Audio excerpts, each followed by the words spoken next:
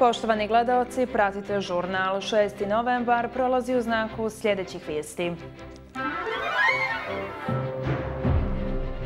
Presuda protiv specijalne tužiteljke Lidije Mitrović, kojom je izrečena kazna zatvora od sedam mjeseci, otvorila novu Pandorinu kutiju. Njeni predmeti dovedeni u pitanje ukoliko presuda protiv nje postane pravosnažna.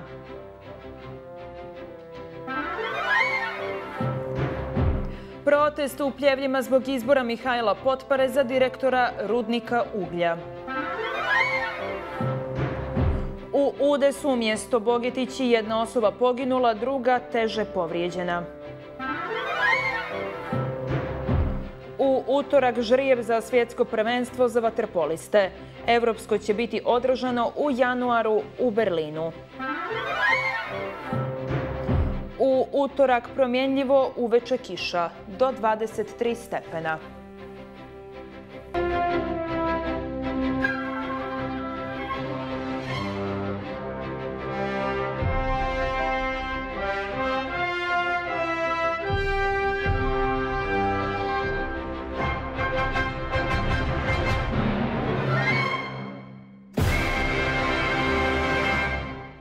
Prvo stepena presuda Višeg suda protiv specijalne tužiteljke Lidije Mitrović, kojom je izrečena kazna zatvora od sedam mjeseci zbog zloupotrebe službenog položaja, otvorila je novu Pandorinu kutiju.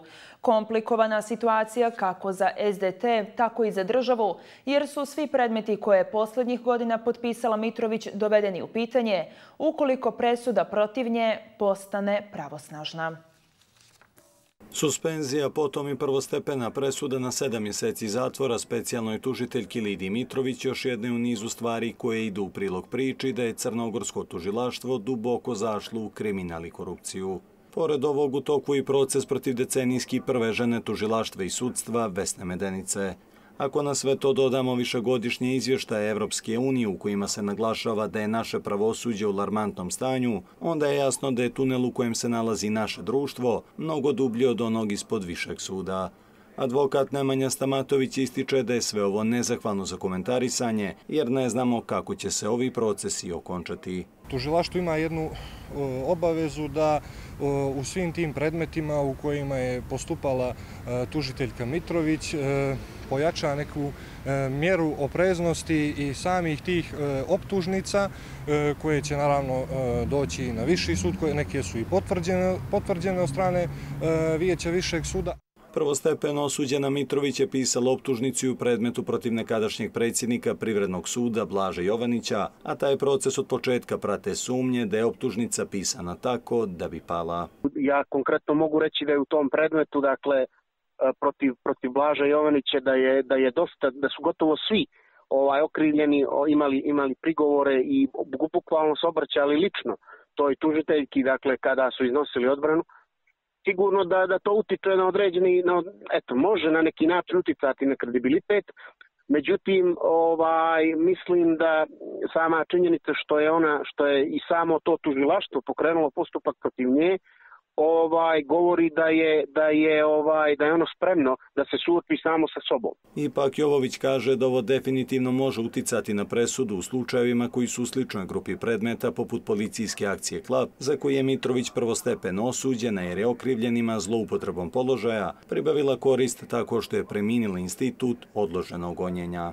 Sama ta osuda naravno da može baciti sumnju na, na druge predmete, odnosno može baciti sumnju na, na sam rad tužilaštva, zašto je dakle ta tužiteljka dakle koja je koja je sada već koja je nepravesna nepravosnažno osuđena zašto je ona dakle ovaj e, egzistirala u tim predmetima i zašto je da kažem zašto ova osuda nije uslijedila ranije Stamatović ističe da se SDT mora izboriti s ovom zamršenom situacijom koja bi se tek mogla zakomplikovati. Samo u slučaju da tužiteljka Mitrović bude e, pravosnažno oglašena krivom, na neki način bi otežalo, otežalo postupanje e, tužilaštva u tim krivičnim predmetima, jer bi e, na neki način javnost, e, javnost bi stekla utisak da je tužiteljka i u svim tim drugim predmetima postupala eventualno nezakonito da su bili neki propusti.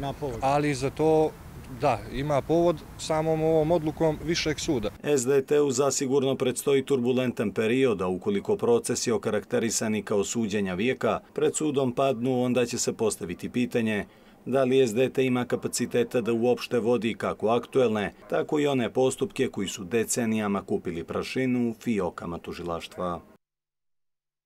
Predsjednik države Jakov Milatović na poziv predsjednice Republike Slovenije Natoše Pirc-Musar boravi u zvaničnoj posjeti toj zemlji. Dvoje zvaničnika su ocijenili da su odnosi dvije zemlje odlični i da se baziraju na principima prijateljstva, otvorenosti i međusobne podrške. Dogovoreno je da se idući samit Brdo Brioni održi u Crnoj Gori. Predsjednik Jakov Milatović počeo je zvaničnu posjetu Sloveniji sastankom sa predsjednicom države Natešom Pirc-Musar na brdu kod Kranja. Milatović je ocijenio da su odnosi Crne Gore i Slovenije bazirani na principima prijateljstva, otvorenosti i međusobne podrške. Karakteriše ih istorijska bliskost i iskreno prijateljstvo građana naše dvije zemlje, koji su ne tako davno bili dio iste zemlje, stare Jugoslavije, i do dana zadržali osjećaj bliskosti i međusobnog uvažavanja i povjerenja. Upravo na tim čvrstim osnovama razvijamo i konstruktivnu saradnju na svim bilateralnim poljima. Milatović je kazao da Crna Gora posebno cijeni podršku Slovenije za izbor Podgorice za sjedište regionalnog centra za borbu protiv sajber kriminala i sajber bezbjednosti.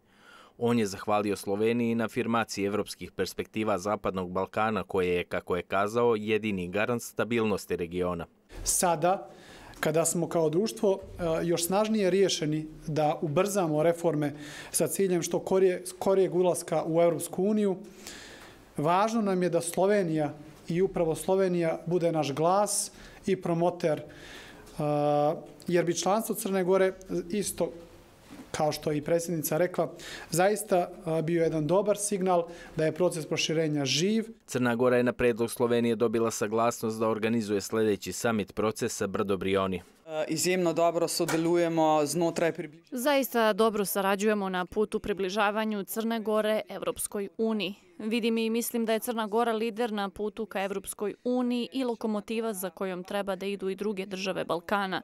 Samit proces Brdo Brioni je jedan od procesa kojim prolazi voz ka Evropskoj uniji i predsjednik Milatović mi je danas potvrdio da će Crna Gora biti organizator ovog samita. Milatović se sastao i sa potpredsjednicom vlade i ministarkom vajskih i evropskih poslova Slovenije Tanjom Fajon. Tom prilikom je stakao da je pomoć Slovenije na evropskom putu dragocijena, a bilateralnu saradnju će osnažiti na dobrobit obje države.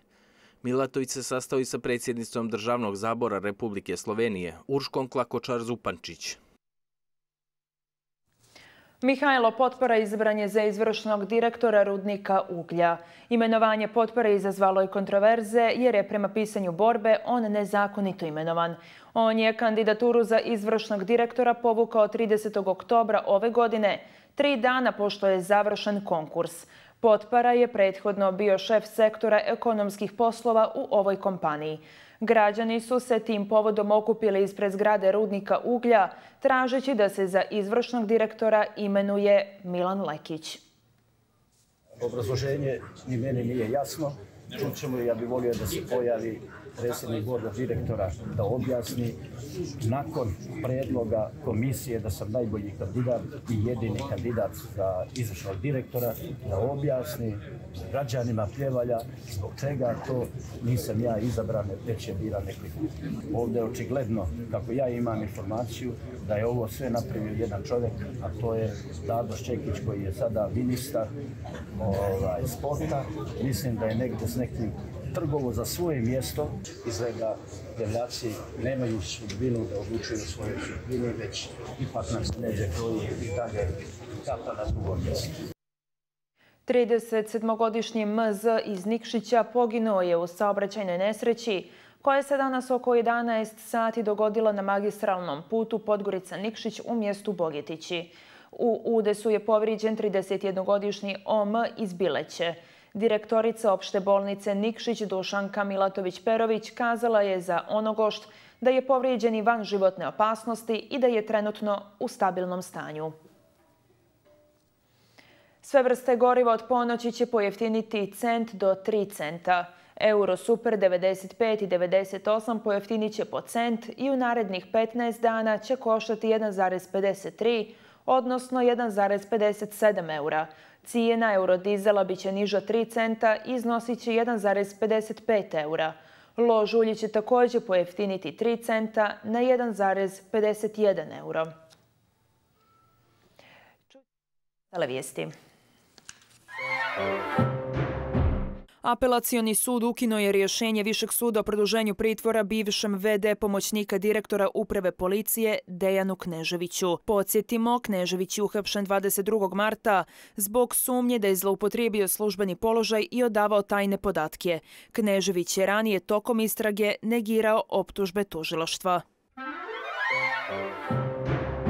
Za prvih šest mjeseci rada nove gradske uprave zaključeno je 252 ugovora o dijelu, kazao je na preskonferenciji šef klub odbornika SDLP u Skupštini glavnog grada Miloš Mašković. On je kazao da najmanji iznos na koji je zaključen određeni ugovor iznosi 15 eura, dok je najveći iznos 3250 eura. Mašković naglašava da je posebno problematično to što nemaju kumulativan iznos koji je utrošen za ugovore ove vrste. Upravni odbor Crnogorske unije poslodavaca izabrao je Raška Konjevića za generalnog sekretara kao kandidata koji posjeduje referentno znanje iz privredne oblasti i ekonomske politike. Iskazano je i uvjerenje da će premijer Milojko Spajić održati predizborno obećanje i u fokus svojih aktivnosti imati partnersku saradnju sa privredom i poslodavcima, navode iz Crnogorske unije poslodavaca. U vremenima kada su krediti skupi, a novac sve nedostupniji, emitovanje obveznica za građane predstavlja finansijski instrument preko kojeg država može da obezbijedi povoljno novac, a građani priliku da zarade. To je nedavno uradila Hrvatska koja ima pozitivno iskustvo. Šta to znači, šta su prednosti i kako to uraditi? Izdavanje harti od vrijednosti građanima praksa je koju već godinama primjenjuju brojne države svijeta, a koja je relativno skoro stigao u naš region – To je jedan od finansijskih instrumenta preko koji država može da se zaduži, a pozitivno iskustva već bilježi Hrvatska. To je nešto što je ovaj definitivno dobro i to je iz više razloga. Jedan od razloga je što, kažem, to je visoko e, e, stabilan instrument, dakle bez, sa malim rizikom, što za ljude koji nisu baš posebno finansijski pismeni, a nažalost u našoj barem zemlji u Hrvatskoj je razina finansijske pismenosti dosta loša, za Crnu Goru ne znam, ali pretpostavljam da je barem slično. Pa onda u tom tom pogledu, dakle, jedan ovako sigurni vrednostni papir definitivno ima smisla. Kada građani kupe državnu obveznicu, to znači da su ju oni pozajmili novac, kojim će im vratiti sa kamatom nakon određenog perioda. Kamata se obračunava na godišnjem nivou, što znači i određenu zaradu. To je šansa za sve ljude koji imaju novac da ga investiraju bez rizika. Uvođenjem, dakle, tog instrumenta produbljuje se, dakle, se povećava razina pismenosti financijske, se produbljuje uh, financijsko tržište, dakle tržište kapitala u, u jednoj zemlji, jer bogatstvo i dubina tržišta kapitala uh, uh, je šarolikost financijskih instrumenta, dakle od osnovnih vrednostnih papira, dionica i obveznica do svih izvedenica, dakle do svih derivata koji se koriste na tržištem kapitala. Prima tome i zbog toga je onda to dobro. Također, novac koji država prikupi na taj način ostaje u zemlji tako da se podiže i nivo dohodka stanovnika zbog zarada od kupovine dionica. Ako je to nešto što može državi da pomogne, koja je nije koja je zadužena i, i koja treba da traži mehanizme, svakako jedan, jedan od mehanizama, ne i glavni ili presudni, ali bi mogao da bude koristan. Prvenstveno za državu. To je suština priče. Znači, ne, ne može ona da bude, obavljice države ne, nije su sad e, od krupnog uticaja po privredu, ali jesu dobre za državu, ali, ali iz tih nekih manjih zaduženja ili manjih kamata može da se utiče na rastarećenju u porezkom smislu. Emitovanjem obveznica država postaje konkurencija bankama i obara kamate, a građani umjesto da drže novac na računu mogu da ga investiraju i zarade. U asocijaciji menadžera smatruju da bi država prije nego što izađe na međunarodno tržište obveznice prvo trebao da ponudi građanima i privredi. Mogući da se desi da, da ljudi po, uh, jednostavno ulažu u svoju državu, da, da jednostavno na, na taj način mislim da to može da poveća ponudu i da možda malko poveća određene uslove kada je finansijsko tržište u pitanju. Inače, državne obveznice se smatraju najmanje rizičnim vrijednostnim papirom unutar nekog finansijskog sastava i manje su rizične nego depoziti u bankama. Međutim, za to je potrebna volja države jer je mnogo lakše zaduživanje na međunarodnom tržištu, a i teško očekivati da se na ovaj način prikupi sav novac. Studenti su danas protestovali zbog nedovoljnog broja smještajnih kapaciteta u domovima i zbog lošeg pravilnika za raspodijelu studentskih soba. Studenti su organizovali protestnu šetnju do Ministarstva prosvjete gdje su razgovarali sa ministarkom Anđelom Jakšić-Stojanović. Život u studentskim domovima je ključni razlog ukupljanja studenta, ali i problem smještajnih kapaciteta. Studentski parlament je predao ministarstvu zahtjev za izgradnju novog doma i za izmjenu pravilnika. Ove godine van liste je ostalo oko 260 studenta druge, treće, četvrte i pete godine. Zbog lošeg pravilnika, veliki broj studenta nije mogao da preda dokumenta potrebna za ostvarivanje prava za stanovanje u domu. A neki studenti ne mogu predati dokumenta jer dokumentacije im nije potpuna na osnovu broja položenih ispita, dok određeni studenti sa privatnih fakulteta mogu.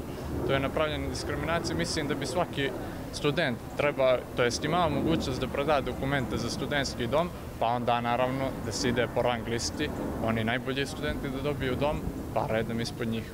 Na koji način su studenti sa državnog fakulteta diskriminisani, pojasnio nam je još jedan od organizatora Nikola Drobnjak, a kako kaže dva su razloga. Oni ne mogu da se nađu na spisku NSRS ili e, student koji nije redovan student uglavnom, a drugi razlog jeste taj što se njima kao za rangiranje na bodovnoj listi u domu uzima e, prosjek, a ne indeks uspjeha. Možete li nam dati jedan primjer?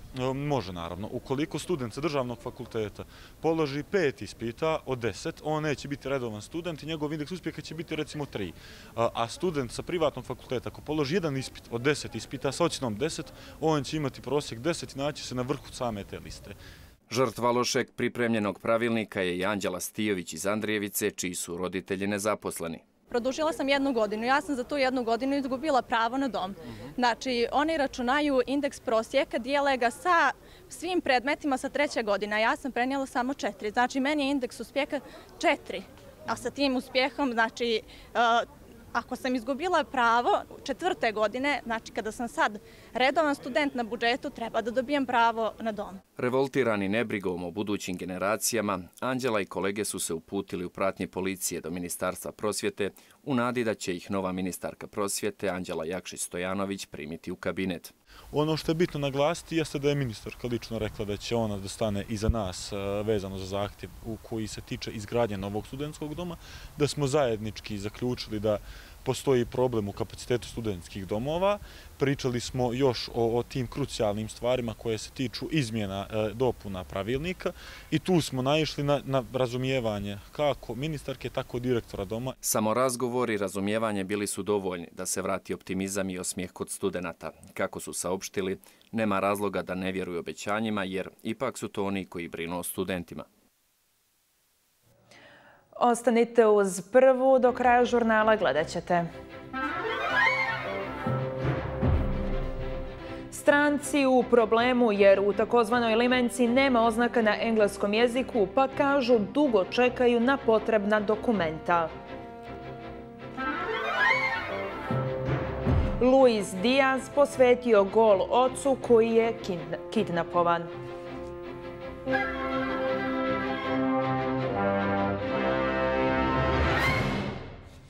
Pojedini strani državljani u našoj zemlji suočili su se sa problemom kada u područnoj jedinici MUPA za izdavanje dokumentata nisu naišli na obavještenja ili infotable na stranom jeziku.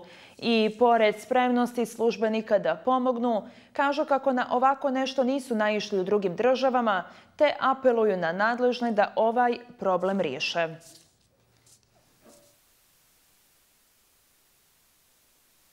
Nekoliko stranih državljana koji se nalaze u Crnoj Gori i koji su morali neki od svojih poslova da završe u područnoj jedinici MUPA i za mene, takozvanoj Limenci, žalili su se prvoj televiziji kako u ovom objektu ne postoji ni jedan znak niti i jedno obavještenje na engleskom jeziku, što ako nisu doveli sa sobom prevodioca ili nekoga od lokalnog stanovništva, za njih je predstavljalo problem. Kažu kako su radnici unutra raspoloženi da pomognu i razgovaraju na engleskom, odnosno pričaju na engleskom jeziku, međutim, dok dođu do njih, osjećaju se kao da su izgubljeni.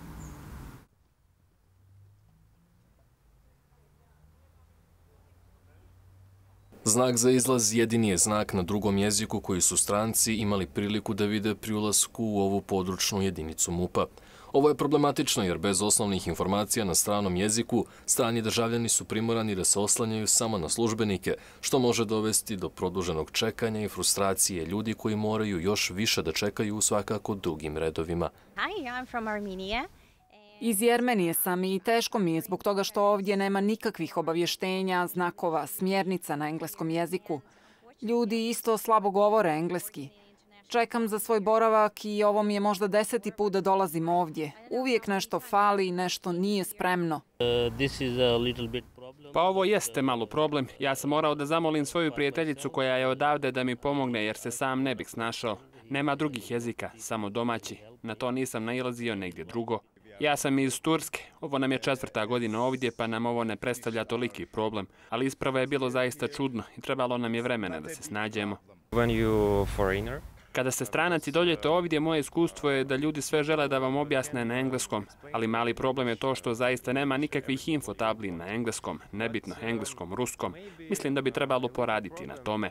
Očigledno je potrebno unaprijediti komunikaciju sa stranim državljanim u ovoj područnoj jedinici. To se može postići postavljanjem informativnih tabli, obavještenja i smjernica na engleskom jeziku kako bi se strancima olakšao proces dobijanja potrebnih dokumentata. Pored toga omogućilo bi da se osjećaju dobrodošlim i informisanim tokom boravka u ovoj instituciji. Od Ministarstva unutrašnjih poslova odgovor na pitanje o tome zašto je ovakva situacija nismo dobili. Danas je 31. dan rata između Izraela i Hamasa.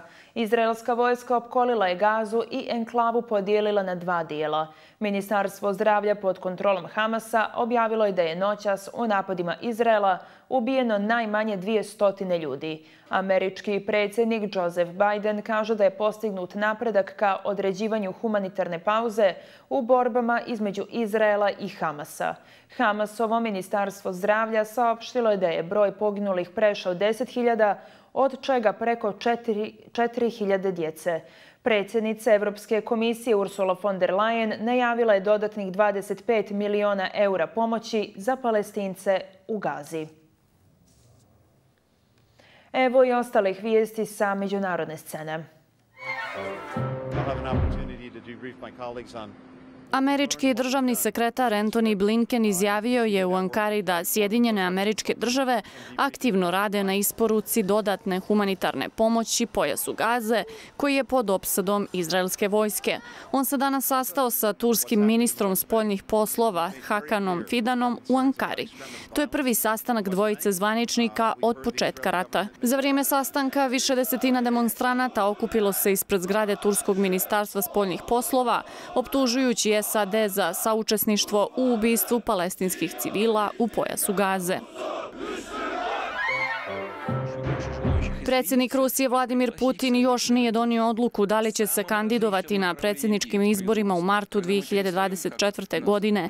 Izjavio je port parol Kremlja Dmitri Peskov, demantujući navode medija da se Putin već odlučio za kandidaturu.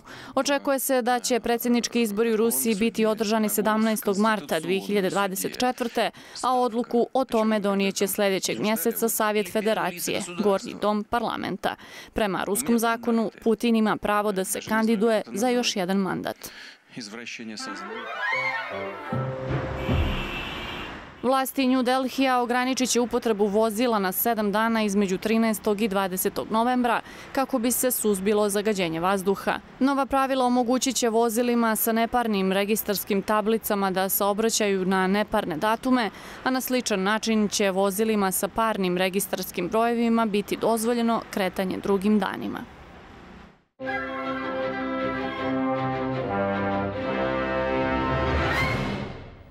Vaterpolo reprezentaciji utorak će saznati rivale za svjetsko prvenstvo koje se održava u Dohi, a evropski šampionat najvjerojatnije će biti održan u Berlinu od 6. do 16. januara.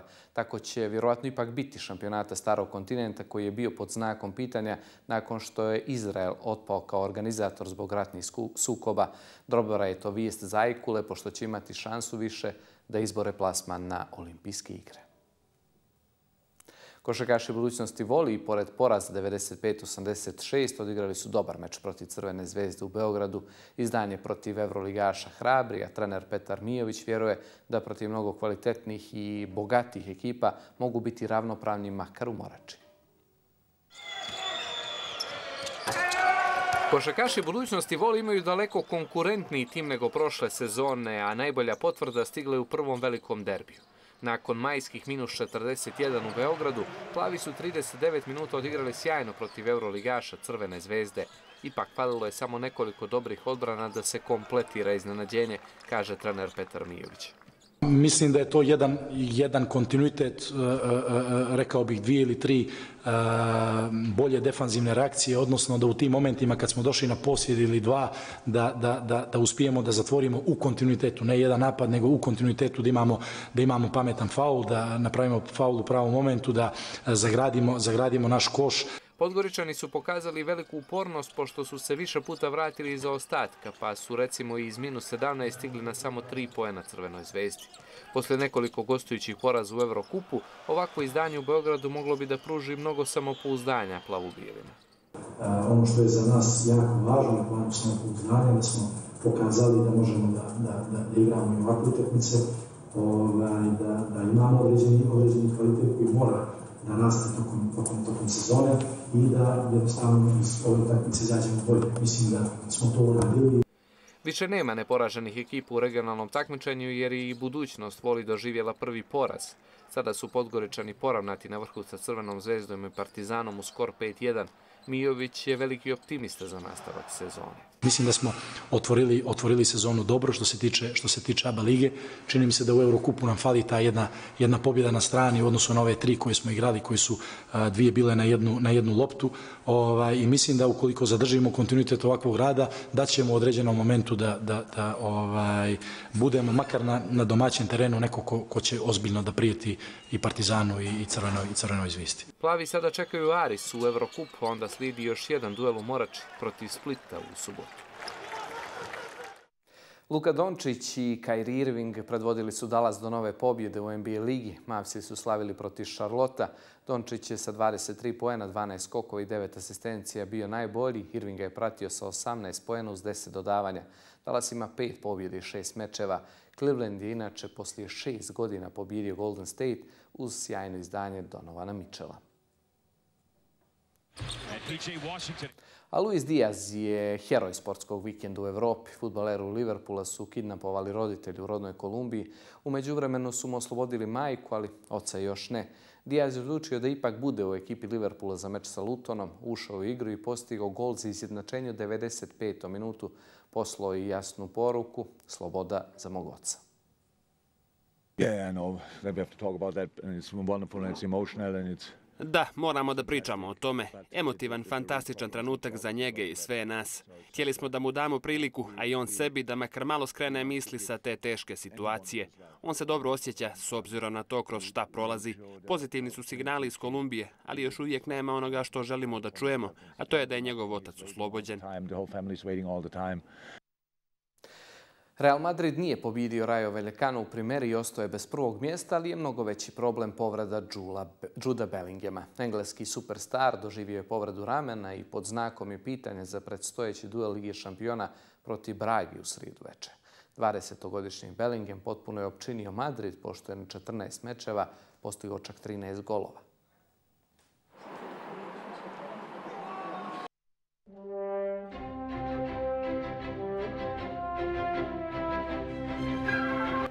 Utorak će kiša padati na sjeveru i istoku Evrope, dok se snijeg očekuje na sjeveru Skandinavije. Kiša i pljuskovi sa grmljavinom očekuju se i na centralnom Mediteranu i u oblasti Alpa. U ostalim predjelima suvo. Najhladnije biće na sjeveru Evrope, temperatura do 5, a najtoplije biće na jugu Grčke i istoku Mediterana do 30 stepeni. Na Balkanskom polu ostrvu u utorak umjereno oblačno. Poslije podne i uveče sa sjeverozapada na oblačenje sa kišom i pljuskovima sa grmljavinom. Maksimalna temperatura do 29 na jugu Balkana. U Crnoj Gori je utorak promjenjivo, ponegdje kiša, u toku večeri i noći očekuju se obilnije padavine. Duvaće jak na udare i olujni južni vjetar. Jutarnja temperatura 2, maksimalna dnevna 23 stepena. U Podgorici umjereno oblačno, duvaće slab vjetar, minimalna temperatura 14, maksimalna dnevna 20.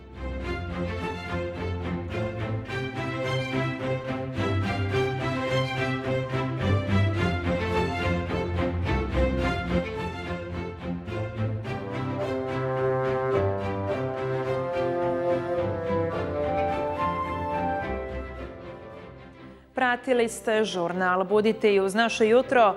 Kolegi u jutarnjem programu razgovaraju o uvođenju vironauke kao redovnog predmeta u školama, a gosti u studiju su protojera i Predrag Šćepanović i pedagog Rade Dulović. Ostanite uz prvu.